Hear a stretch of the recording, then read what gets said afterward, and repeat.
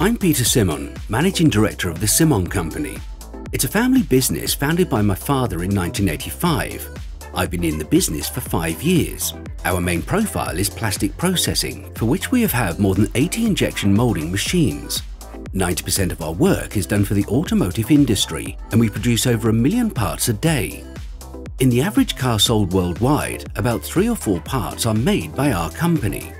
We've been in contact with FANUC for quite a while now, and the main reason for our successful collaboration is their ability to respond to our needs and machine capacity problems in a very flexible, dynamic and quick manner.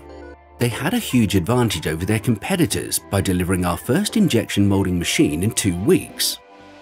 We chose FANUC because in regards to energy efficiency, they proved to be the best. Originally, we figured we would be able to add about three or four standard hydraulic machines to our existing energy rail. Now, we have 10 FANUC machines operating on the same rail without any problems whatsoever.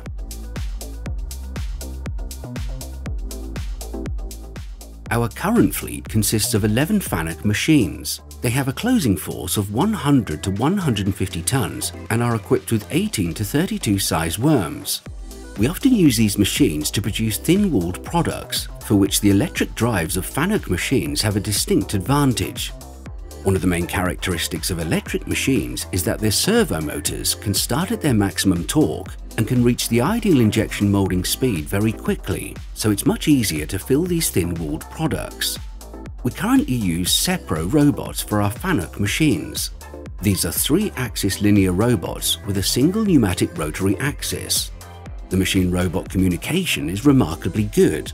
We mainly use the robots for product and Angus picking, so we have the opportunity for Angus grinding. Also, by placing the products on a soft conveyor belt, there's a much lower chance of damaging them.